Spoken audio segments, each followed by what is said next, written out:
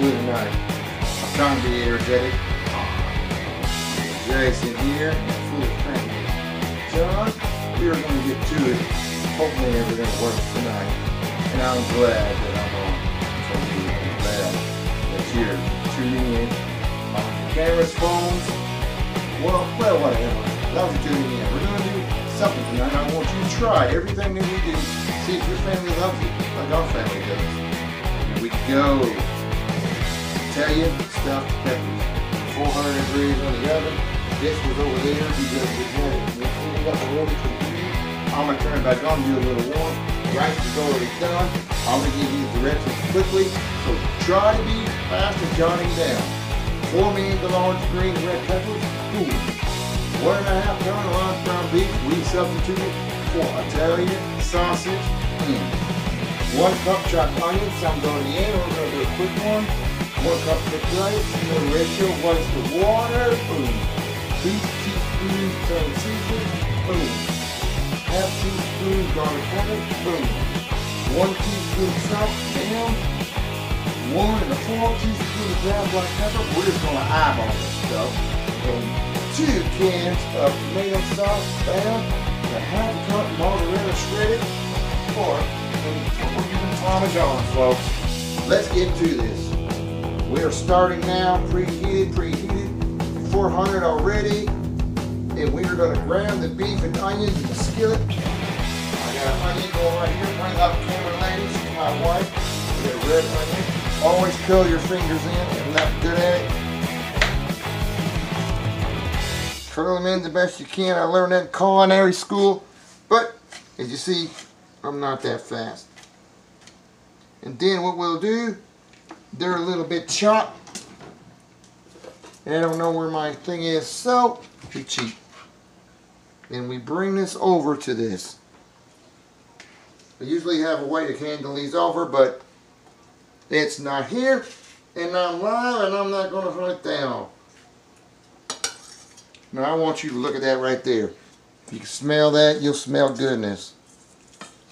Smell that close. Bring it in. See what that looks like. 3D of vision here. Now, I'm just going to go to here. And we are going to cut the top off these bell peppers. I've got two cut off already. And I'm going to show you how to cut them. We're going to bale these peppers in halves. And what I'm going to do is I'm going to do it a way that it's not easy to do. I don't recommend to do, but we're going to do it like this. Be very, very careful with your fingers because I want to have halves here.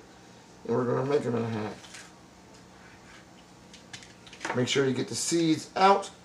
There's a half of one there. It's not like they recommended, but we're trying to use these up. And it came to mind, and this is what we're doing. Here we go. Now what I'm going to do, if you do it like that, and we're going to pause this for a minute, and we're going to be right back when I get these done. Okay, we're on. Look right here. We got them cut. We got the halves cut off. Can you see them here? Camera lady? All right. Say hello behind that camera. Hello. All right, what we're doing on here, we got the brown um, sausage on here, and it's Bob Evans sausage. Mm -mm. We're going to put a little bit of onion already in there, add a little Italian seasoning, and what we're going to do is a little bit Italian seasoning. I told you, told you the ingredients, the ingredients on Italian seasoning real fast. Uh, two teaspoonfuls, but we're just going to eyeball. That looks like it's Italian seasoning enough.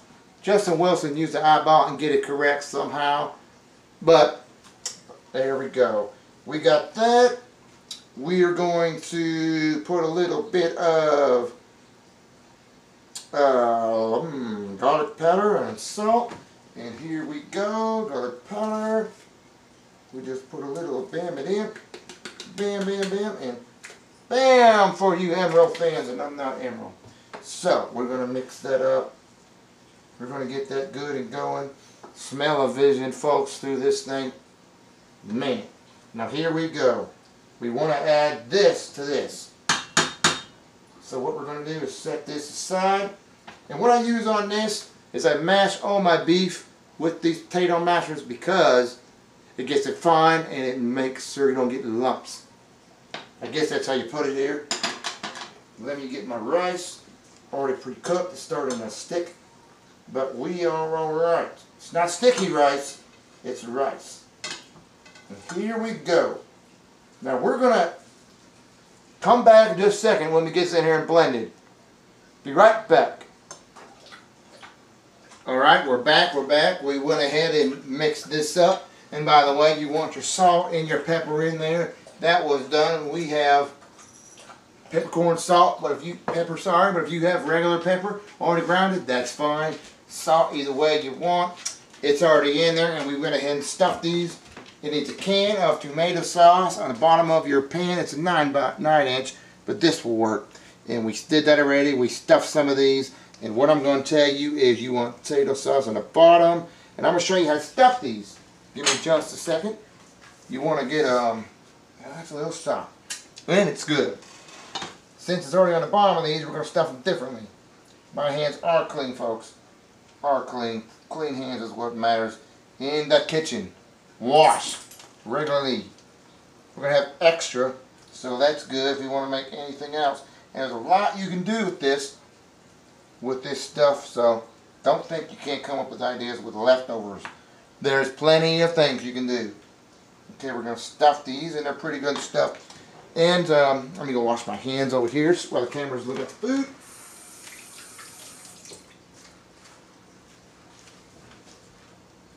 Behind here, we are back, we are back, we are washing of our hands. Now, what it says, I've already got it open, is another can, and you want to place this like this right on top of these Italian stuffed peppers.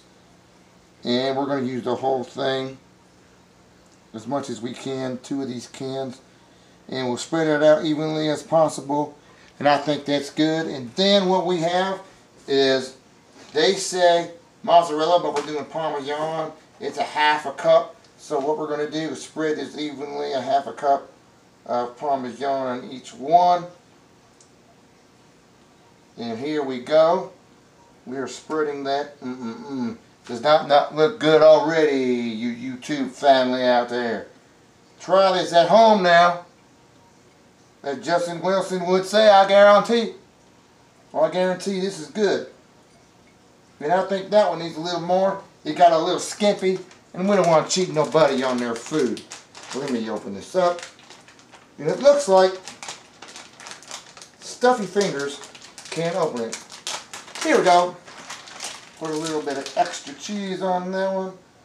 Bam, bam, bam. And what we will do is 400 degrees. This will go into the oven and we'll go into the oven at 35 to 45 minutes. And it's supposed to be foil on top, but I don't have my foil close by. We didn't pick it up from the store. Sorry me, but it should work. We're going to stick this in now, and, and we are going to have a fun with it. And here we go. No, I got something else going in. Be careful when you put these in. You do not burn yourself. And we got extra stuff. We can use that for a lot of different things for a leftover meal. We'll be back because we are going to do another one with it right back. We're back, we're back. Welcome back to the Full Frame Kitchen with Uncle Jason here. We're going to do something called oven roasted squash. My family always did squash, fried squash. Sometimes they just want you vomit out of your mouth. You want different kinds. If you like that old time, that's good. We're going to try our oven roasted squash. And what we're going to do is set it over here. We got some already pre-cut for you. We cut them in half. They're small. There you go. We got to use these up before they go bad. So I come up with this recipe of oven roasted squash that I found. And what we're going to do, you take them with these to the side. You got a weird crooked squash. Hello? Hello? Well, we're going to cut these right here. Careful, safety, with your fingers. We move that there, and what we'll do is we'll tip this end off, just like so. Being very careful, sharp knives can cut fingers. And we want to save these things, and we're going to go slowly, slowly, slowly like this.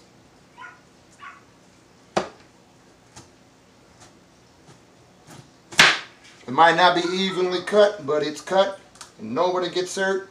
Seeds shall stay. And what I have here in the bowl, it's partly done. I'll show you. Uh, I'm not following the recipe all the way. We got butter, salt and pepper, garlic powder, and more Parmesan cheese.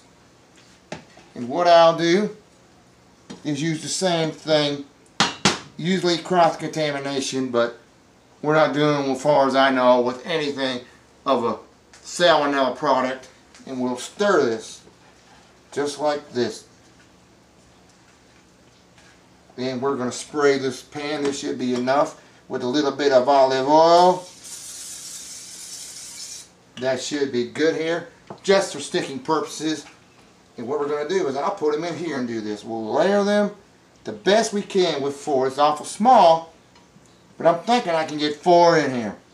You think so?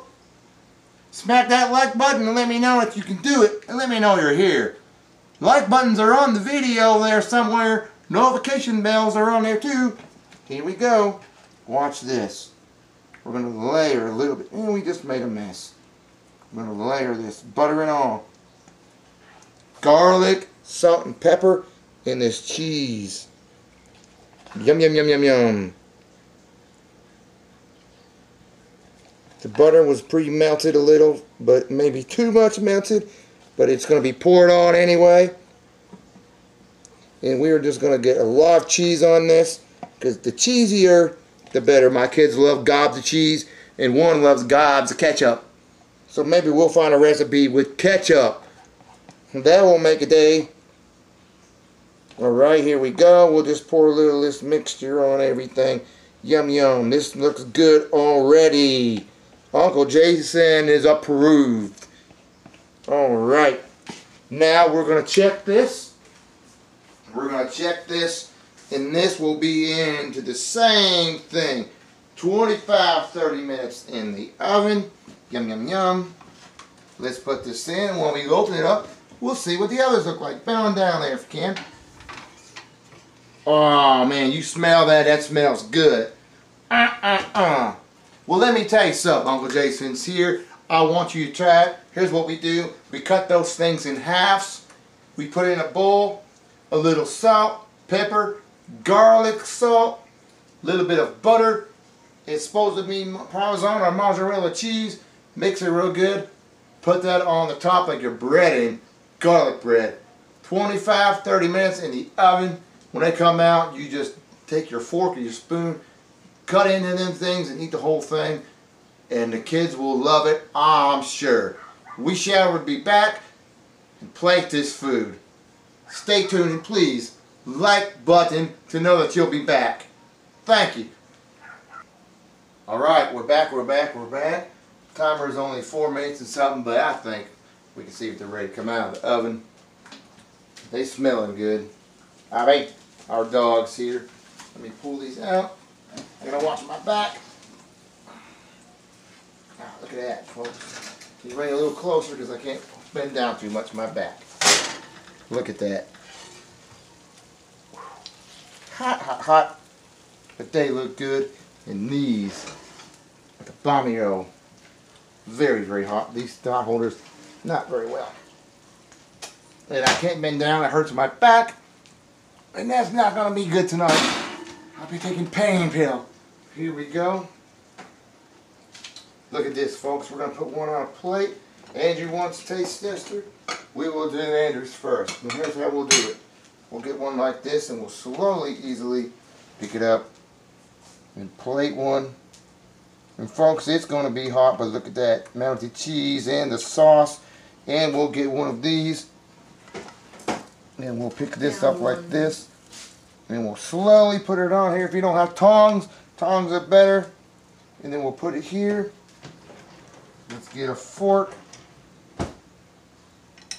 And our taste tester in the kitchen, you know him already, Andrew. He's going to try this out. And keep in mind, this is going to be very, very hot. So don't let it burn you. Okay.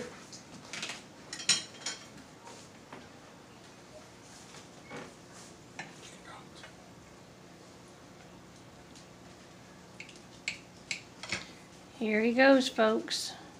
And for the first official taste test. It is hot, so please beware that you don't burn your mouth.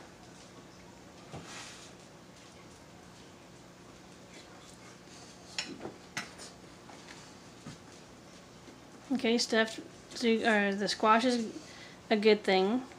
Now, after his mouth is done burning, after he was strongly advised that it was hot, now he's trying the stuffed pepper.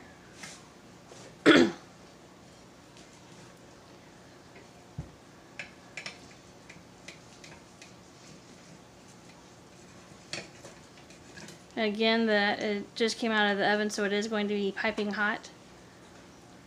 So please be careful that you do not burn your mouth.